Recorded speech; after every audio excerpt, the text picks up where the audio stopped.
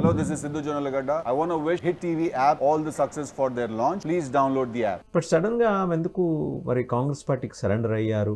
కాంగ్రెస్ తోటి మెర్జ్ అవ్వాల్సిన అవసరం ఏమై ఉంటుందని మీరు అనుకుంటున్నారు? సి షర్మిల గారు పార్టీ ఇక్కడ పెట్టడం కూడా వాళ్ళ బ్రదర్కి ఏదన్నా ఒక జలక్ ఇద్దామని పెట్టారని నేను అనుకుంటున్నాను. ఓకే? బ్రదర్ దగ్గర నుంచి వాళ్ళకి సరైన bargain she was aspiring for Kadapa MP seat అక్కడే ఇష్యూ వచ్చిందని కూడా అనుకుంటున్నాను వివేకానంద రెడ్డి గారి ఇలాంటి ఇష్యూస్ అన్ని కూడా అదే so was not given any ticket వాళ్ళ మ సో అదొకటి ఆలోచన. వాళ్ళ మదర్ను కూడా ఎత్తుకుపోయి వైజాగ్లో తీసుకుపోయారు. ఓడిపోయారు ఆ రోజుల్లో. సో అదేదో కడపలో నిలబెట్టింటే వాళ్ళ మదర్ గెలిచి ఉంటారు సో ఇవన్నీ ఇంటర్నల్ వాళ్ళ family politics that is they are they are open for that that is their discretion powers so ఆ ఉద్దేశంతో షీ వెయిటెడ్ ఫర్ చాలా రోజులు వెయిట్ చేశారు. ఇప్పుడు ఏదో ఒకటి సంథింగ్ నేను కూడా ఉండాను. నేను కూడా రాజశేఖర రెడ్డి గారి అమ్మాయి. నాకు కూడా ఉంది. ఎందుకంటే జగన్ రెడ్డి గారు జైల్లో ఉండేటప్పుడు జగన్ రెడ్డి గారు విసిన విసిరిన బాణం అని చెప్పేసి తిరిగి ఆంధ్రలో తిరిగి పద్దెనిమిదికి పదహారు సీట్లు తెప్పించిన ఘనత ఆమె కూడా ఉంది ఆ రోజుల్లో. So that credit should be own to her yes so తర్వాత తెలుసు కదా మీకు రాజకీయాల్లో కావచ్చు ఎక్కడైనా కూడా యూజ్ అండ్ త్రో అనే కాన్సెప్ట్ ఉంటుంది కాబట్టి వాళ్ళకి ఇంటర్నల్గా ఒక లీడర్షిప్పే ఉండాలి. వేరే వాళ్ళని సస్టైన్ చేయలేము అనే పద్ధతిలో ఉండొచ్చు. సో టూ పొలిటికల్ సెంటర్స్ ఉండకూడదు అనేది కూడా వాళ్ళకి భయం ఉండొచ్చు.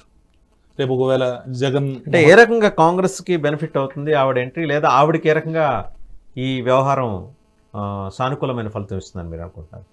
అంటే ఒక రాజ్యసభ టికెట్ ఇచ్చి సర్దేస్తారా? ఏమైనా చేయొచ్చండి. ఇప్పుడు కాంగ్రెస్ కంపల్షన్ ఉన్నాయి. కాంగ్రెస్ ఇప్పుడు ఆంధ్రప్రదేశ్లో కాంగ్రెస్ జీరో. సో అలా అక్కడ కూడా ఏమన్నా జగన్మోహన్ రెడ్డి గారి సిస్టర్గా ఏదన్నా కొద్దిగా ఆయన ఇబ్బంది పెట్టే ప్రక్రియ పనికొస్తుందని అనుకుంటున్నాను. తెలంగాణలో ఐ డోంట్ సి పెద్దగా మార్పు వచ్చేస్తుంది నేను అనుకోను కానీ ఆంధ్రాలో కోసము ఆమె- తెలంగాణను కూడా రెండిట్లు కలిపి చేస్తారు. ఇప్పుడు వైఎస్ఆర్ తెలంగాణ పార్టీ విలీనం అంటే ఒక న్యూస్ అవుతుంది. అంతే కదా? అందుకే ఒక పార్టీ పెట్టింది. ఆ ఊరికి పోయి పార్టీలో చేరింది అనుకోండి ఈమె పోయి పార్టీ చేరింది అనుకుంటారు. విలీనం చేయడం అంటే ఒక ప్రక్రియ లాగా బిల్డ్ చేసి మెయిన్ వీళ్ళకందరికి కావాల్సిన అక్కడ ఇక్కడ కాదు. అదొకటి. అంతేగాని కాంగ్రెస్కు పెద్దగా దానివల్ల ఏదో అవుతుందని నేను అనుకోవడం లేదండి. మత్తయ్య గారు మీరేమంటారు ఈ డెవలప్మెంట్స్. షర్మిల గారిది అంటే ఆమె తీసుకున్న నిర్ణయాన్ని స్వాగతించవచ్చు సార్ ఇది ఎందుకంటే Indian constitution is in danger ప్రస్తుత పరిస్థితులు. అటువంటి సమయంలో షర్మిల ఇందాక సార్ చెప్పినట్టు ఆమె వ్యక్తిగత రాజకీయ ఆ, పదవి భాగస్వామ్యం కొరకు ఆస్తుల భాగస్వామ్యం కొరకు లేదా ఒక ముఖ్యమంత్రి కుటుంబము ముఖ్యమంత్రి కుమారుడు ఒక హోదాలో ఉన్నాడు. నేను ముఖ్యమంత్రి కూతుర్ని మళ్ళీ ఇక్కడ ముఖ్యమంత్రి అవుతాననే ఆమె యొక్క ఆశల యొక్క దాని గురించో పక్కన పెడితే ప్రస్తుతం భారతదేశం ఈ బీజేపీ రాజ్యాంగాన్నే మార్చుదామని చెప్పి తాజాగా సిఆర్పిసి కోడ్ను మార్చేసి ఏదేదో వాళ్ళకు అనుకూలమైన మరి ఇప్పుడు బీజేపీ వాళ్ళు పెట్టుకున్న పద సంచాలనం లేకపోతే కొన్ని కొన్ని గ్రాంధిక భాషలు పెట్టుకుని సనాతన గ్రాంధిక భాషల్ని ఇప్పుడు అభినవ కాలంలో పెడుతున్నట్టుగా మార్చే టైంలో ఆమె మరి అంటే నేను ఇప్పుడు సార్ చెప్పినట్టు కాదు కానీ ఇదే షర్మిలకు అమిత్ షా మోడీ ఫోన్ చేసి కేసీఆర్తో గొడవప్పుడు ఫోన్ చేసిన వాళ్ళు ఇప్పుడు ఎందుకు ఆమెను పక్కన పెట్టారు? అంటే ఆమెను పక్కన పెట్టబట్టి ఆల్టర్నేట్గా కాంగ్రెస్కి వచ్చింది. ఇదొక కోణం. కానీ ముఖ్యంగా రాజ్యాంగ ప్రజాస్వామ్యత భారతదేశంలో ఇప్పటికైనా ఆమె క- నిజం కళ్ళు తెరిచి ఒక సెక్యులర్ పార్టీకి కాంగ్రెస్ పార్టీని ఎన్ను- ఎన్నుకొని అలా విలీనమైందా లేదా పార్టీ అక్కడ జగన్ గురించి డివైడ్ చేయడానికి వాళ్ళ పార్టీ ఉనికిని కాపాడుకోవడానికి? ప్రస్తుతం చూస్తే రేవంత్ రెడ్డి తప్పించి తెలంగాణలో కాంగ్రెస్కి ఒక స్టార్డమ్ లేదు. లేదు. వాయిస్ లేదు. ఈవెన్ బీఆర్ఎస్తో గొడవపడాలన్నా ఇతర పార్టీలతో గొడవపడాలన్నా ఆమెను ఒక మౌత్ పీస్గా వాడుకోవడానికి వాళ్ళకు కూడా ఉపయోగమైంది జాతీయ స్థాయిలో కూడా. ఇటు ఏపీ తీసుకెళ్ళొచ్చు వీళ్ళ మీరు ఒక విషయం గమనించారా? సార్.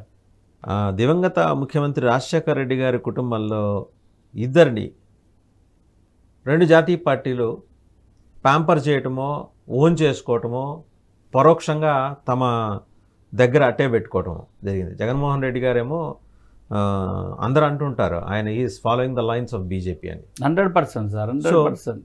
మీరు మీది కూడా అదే అభిప్రాయం. ఇప్పుడు షర్మిల గారిని ఈ క్యాంపుకి తీసుకురావడం ద్వారా కాంగ్రెస్ ఏమైనా డిఫరెంట్ గేమ్ ఏదైనా ప్లాన్ చేస్తుంది ఆంధ్రప్రదేశ్లో? కాంగ్రెస్ పరిస్థితి అంటే సార్ ఇప్పుడు ఏదో అంటే ఎక్స్పైర్ మందుకి. ఎంత చేసి దాన్ని చేసుకోవాలని ఉంటుంది. కొత్త ప్రోడక్ట్ అనుకోండి దాని ప్రమోషన్ వేరు. ఇప్పుడు ఎక్స్పైర్ మందికి ఎన్ని ఎన్ని మిక్సింగ్స్ ఇంగ్రీడియంట్స్ పెంచి దాన్ని పవర్ ఉందని చూపించుకున్నట్టుగా. కాంగ్రెస్ ఒకప్పుడు దేశవ్యాప్తంగా అన్ని రాష్ట్రాల్లో ఉండే.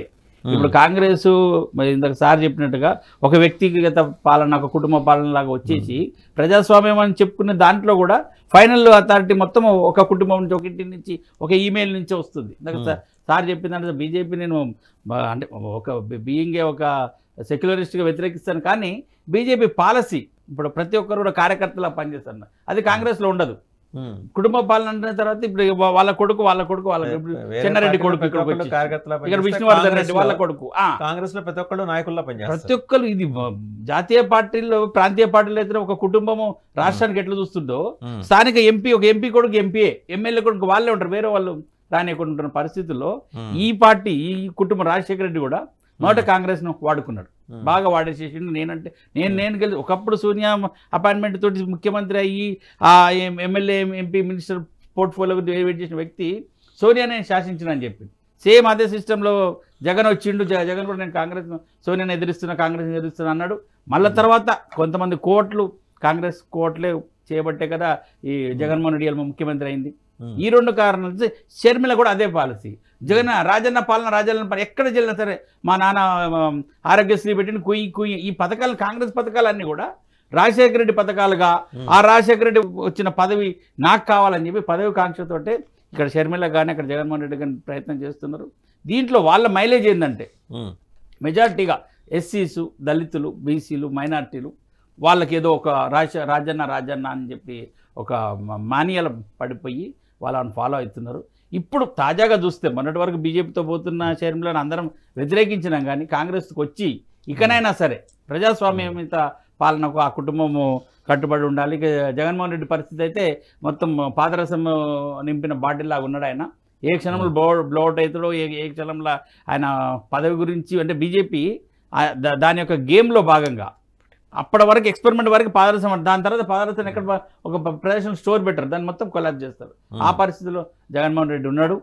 ఇక ఏపీ భవిష్యత్తు ఏమ ఏమవుతుందని కూడా తెలియని పరిస్థితుల్లో. కాంగ్రెస్ షర్మిలను తీసుకుని వెళ్ళి అక్కడ తిరిగి తన సెక్యులర్ నామ్స్ సెక్యులర్ దాని ప్రకారంగా నిలబడితే ఏపీ ప్రజలకు అది ఒక మంచి అవకాశంగా మేము భావిస్తున్నాం sir. Hit TV app, all the success for their launch. Please download the app. Download the Hit TV app now. Please download the app now. Please download the app now. Please download the app now. Download the app now.